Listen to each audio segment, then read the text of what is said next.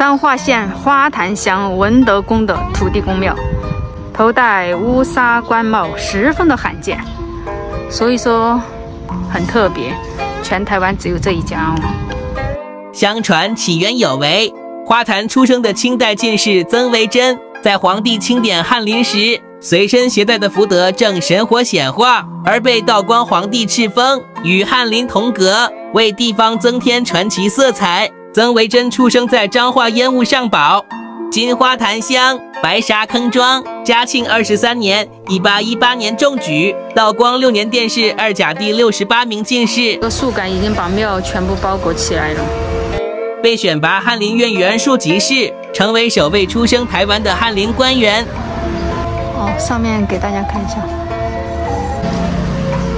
彰化县受保护的树木。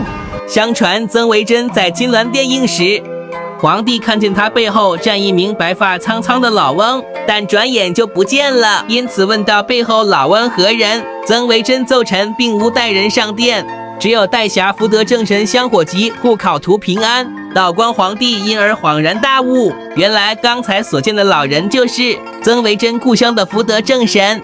为了感念福德正神保佑国家人才。于是敕封土地公为与翰林同格，并颁给御制乌纱官帽一顶。哦，不对不对不对不对不对，它是两颗连在一起的。据文德宫庙史记载，曾维珍任翰林院编修后，时时想念故乡。某年元宵节，他随皇帝暖驾观赏花灯，触景生情，不禁两泪纵横。道光皇帝询问何故流泪，曾维珍答以。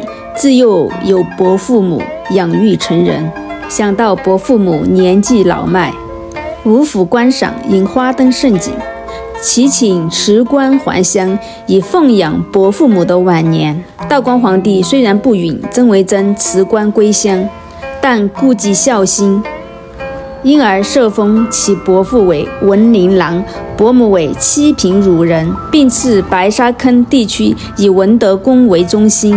与元宵期间，依照京城规模大迎花灯，以感念二人养育曾维珍成人之恩。此为文德宫迎灯牌的由来。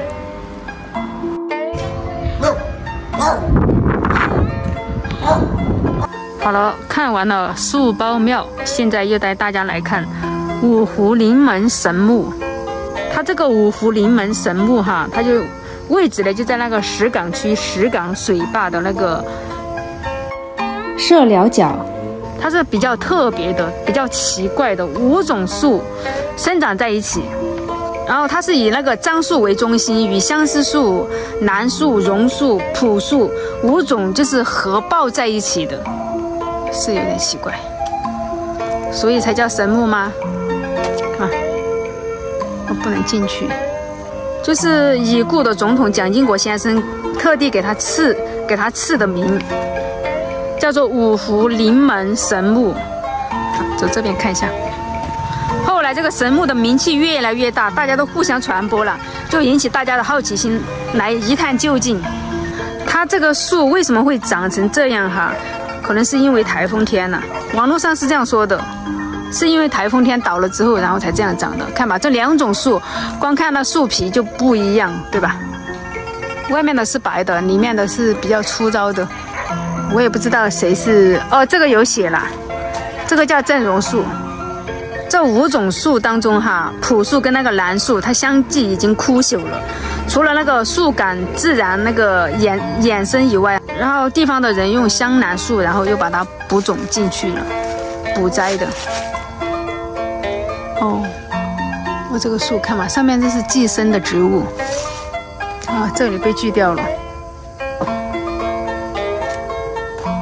这个五福临门神木哈，它的年龄已经有百年之久了嘞，它的年纪都已经上百年了，看吧，百年古树，需要十二位成年的男性才可以合力为抱。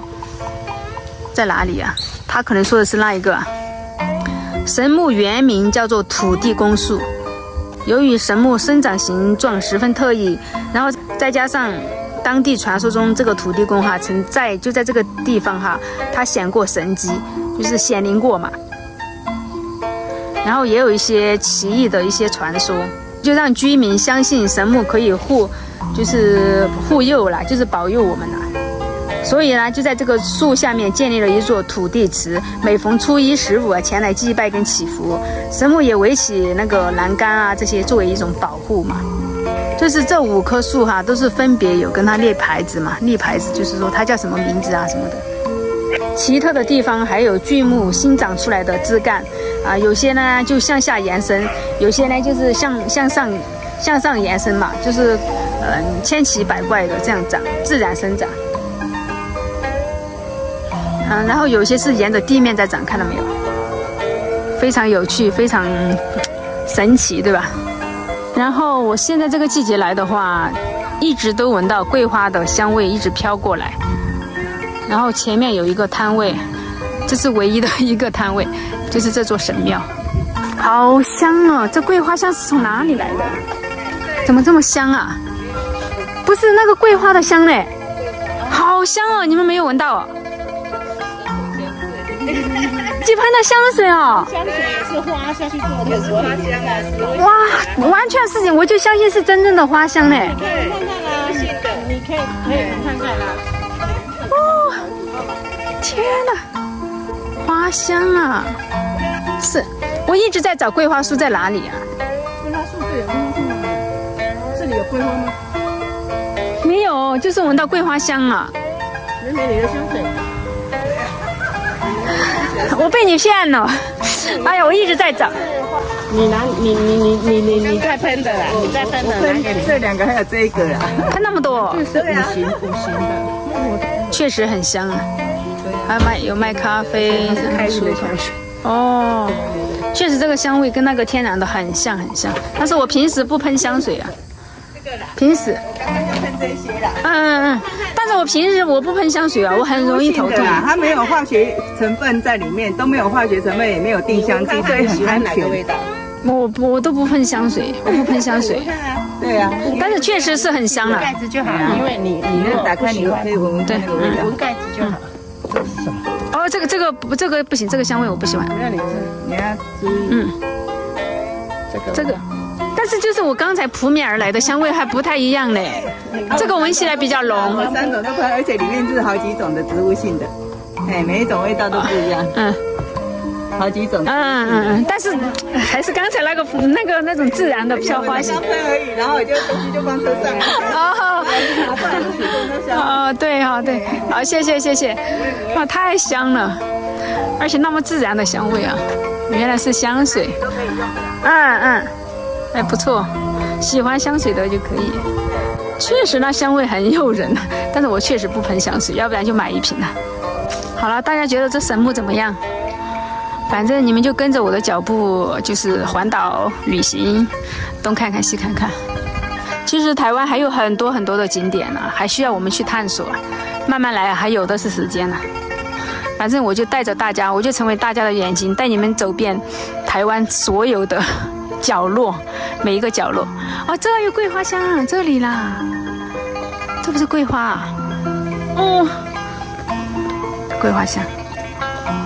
在神木的旁边，我发现了一棵千年人人参，不是千年灵芝，好摸一下，